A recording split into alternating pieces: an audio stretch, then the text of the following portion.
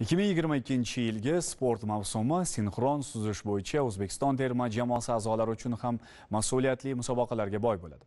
Bo'lajak nufuzli musobaqalarda vatanimiz sharafini himoya qilishni maqsad qilgan yurtdoshlarimiz ayni paytda tayyorgarlik jarayoniga zo'r berishyapti. Mavzuni muxbirimiz davom ettiradi.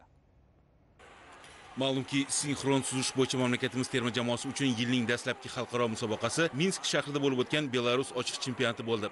Va e'tiborlisi mazkur musobaqadan vakillarimiz umjamoa hisobida mezbonlardan keyin ikkinchi o'rinni egallab qaytishdi. Мы приняли участие на terma jamoa bosh murabbiyi sifatida shogirdlarimning ishtirokidan ko'nglim to'ldi. Ular o'zlariga bildirilgan ishonchni oqlash uchun bor imkoniyatlarni ishga soldilar. Biz mazkur musobaqada yangi dasturimizni namoyish etdik va bu chiqishimiz hakamlar tomonidan yuqori baholandi. Hozirda terma jamoamiz xalqaro suzish federatsiyasi shafeligida o'tkaziladigan jahon seriyasi hamda vengriyada o'tkaziladigan dunyo birinchiligiga qizg'in hozirlik ko'rmoqda. Ma'lumki joriy yil xitoyda yozgi osiyo o'yinlari o'tkaziladi. Maqsadimiz o'zimiz ishtirok etadigan barcha nufuzli musobaqalarda o'zbekiston sharafini munosib himoya qilish va yurtimizga medallar bilan qaytish.